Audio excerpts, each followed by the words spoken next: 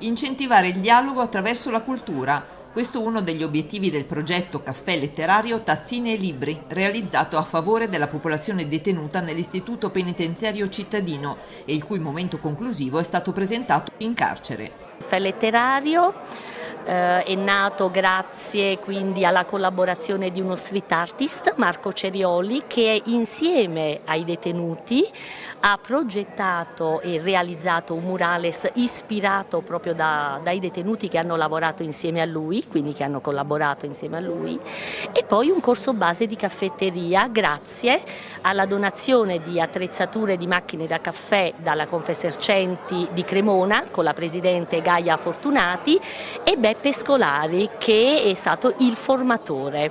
Successivamente l'ultimo pezzettino erano gli arredamenti. Gli arredamenti ha contribuito la cooperativa Rising Coop con eh, il signor Livio Ottoli che ha predisposto eh, il necessario arredamento affinché il locale avesse tutte quelle comodità per far sì che il caffè letterario potesse nascere e come lei ha potuto vedere gustare anche il caffè immediatamente. E lei è una grande fautrice di questo progetto?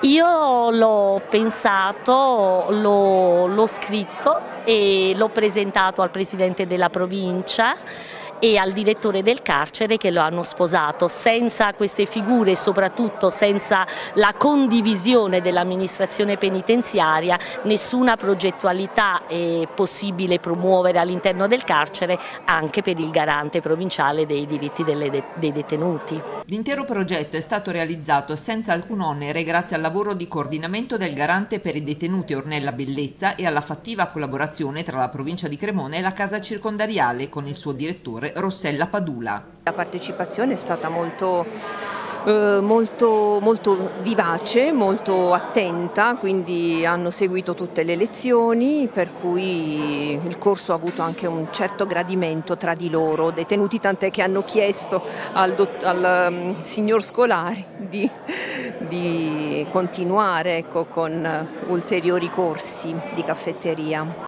Nell'occasione sono stati consegnati ai partecipanti gli attestati di partecipazione al corso di base di caffetteria.